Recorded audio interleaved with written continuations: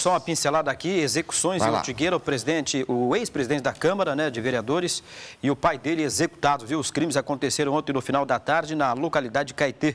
Pelo menos cinco homens fortemente armados de fuzis e escopetas chegaram no Fiat Palio cor branca, fizeram uma emboscada, metralharam o carro e as vítimas, o motorista saiu ferido, foi levado ao hospital sem risco. Morreram no local Rafael Ribeiro Costa, que já foi presidente da Câmara de Vereadores né, é, daquele município, lá de Ortigueira, e o pai dele, o Juarez Costa, Costa, mais conhecido como Caboclinho. Eles chegavam numa propriedade de um homem conhecido como André, quando foram surpreendidos. Foram recolhidas, Diogão, cápsulas de fuzil 556 e calibre 12. Você vai ter mais informações durante a nossa programação, o Jornal Tarobá, né, primeira edição, no Tempo Quente, com Cid Ribeiro.